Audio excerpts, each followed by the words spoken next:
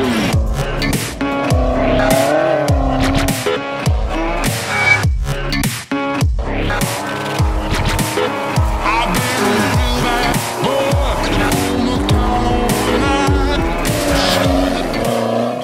is going on guys? Today we're going to make a fuse slash relay panel for the S13. Okay, so here is what we have. We've got the fuse box, we've got a little terminal strip just chilling right there, and then we got our relays.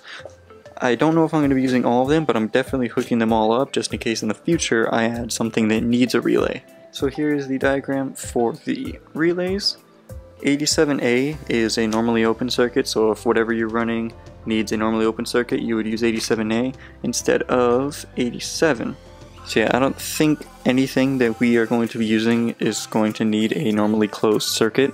However, on the spare relay, that I'm pretty sure we're going to have at least one spare, uh, which probably this guy, we'll keep the red wire there just in case we may end up needing it. So this black wire will go wherever the ground is on the chassis that's closest to it. So the blue wire is positive and it is going to the fuse box. So this guy will go to whichever fuse it is set to depending on what it's powering. So in a nutshell, what's going to happen is 87A, the red wire, not going to use. The white going to the terminal strip. And from the terminal strip, it'll go to the switch. The yellow is going to the terminal strip as well, and from there it's going to wherever it's powering fans, lights, whatever, wiper motors. The blue is going to the fuse box. And from the fuse box right here, we've got the incoming power for it. So power from the battery goes to there and then disperses throughout the fuses. The black wire is a ground, so that we're just gonna have off to the side for now because this is ABS plastic, it's not a ground, so can't really use it as one.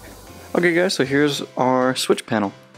It's uh, not 100% complete, there's still some things that I want to get. I want to get a bus bar, mount it like up here, have that for the grounds, just have them kind of loop around, maybe go there, maybe go on top of here. We'll see, we'll see what looks better once it arrives. But until then, they're probably just going to stay like that. So yeah, there's the grounds. Here we've got all the power for each relay going into each, uh, they each get their own fuse depending on what they are powering. They use the specific fuse for it. So here we have the terminal strip. These white wires will go to the switches. I'm going to get a switch panel, so each switch should be on that panel. And these are the wires that go to the accessory, these yellow ones, so they would go to the power input on the fans or the lights or the fuel pump, whatever it is they are going to be powering up, that yellow wire is going to splice into the power wire on that accessory.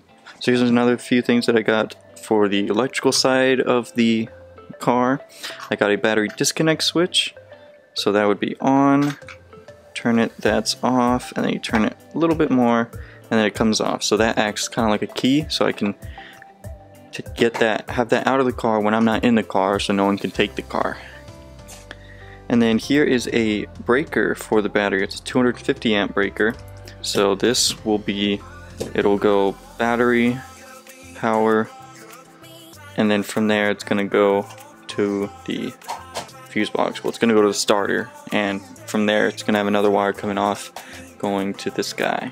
So when you relocate your battery, you uh, have to measure out how much distance is between the battery and the fuse box so you can figure out which gauge wire you need to use because it's all 12 volts but each thing requires a different amperage so you need wire that can handle the amperage because over distance um, it loses voltage and amperage so you, if you get a thicker wire it helps hold that voltage. So at the battery you get 12 and a half volts and at the fuse box you'd get 12 and a half volts. So you want to be like that.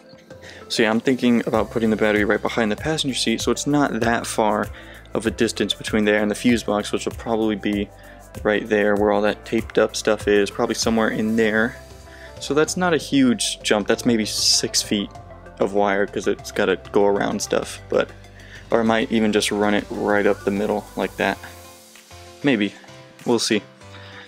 But yeah, so that's not a huge distance like it would be if I put it like back there or over here or something like that. So yeah, the wire thickness won't be as thick as it would be if I put it in the back of the car. Alright guys, we got her done. Apart from like, you know, cutting it to size because we don't need all this empty space, uh, we're, we're good to go. Just got back from Home Depot and I picked up this guy. He is a ground bar. They use him in breaker panels. So I just have all my grounds running to there and then I'll have this guy be like an incoming and that'll go to the chassis or you know the closest point where I could get a ground from. So everything here is grounded. Yeah, overall I think it came out pretty good. I think I went ahead and zip tied this so it's a little more clean. This guy is for our light bars and our LED cubes for this guy. So I'll have the switch for those go to the white wire and the power to the actual lights come from this guy.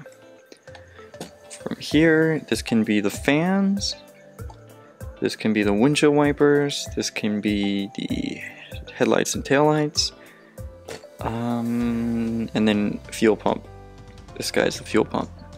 And that is how you make a fuse box slash relay panel for your race car. It's really not that hard. Um, I know wiring looks hard because there's so many wires and who knows what they all do. It's it's not that complicated really once you start going wire by wire. Okay, this wire does that, this wire does this. You know, especially wire diagrams help a lot. They really do. so yeah, it'll be a little bit before we get it mounted in the car because I have to make a dash. And I'm thinking about making the dash out of ABS plastic since it's pretty cheap and easy to work with and it, the dash will just be like a square shape anyways it's not gonna be anything fancy no curves nothing I'm uh, I'm not experienced enough to do that with anything really except like cardboard alright well thank you guys so much for watching. So leave a like if you did comment down below and hit that subscribe button. I'll see you guys next time. Peace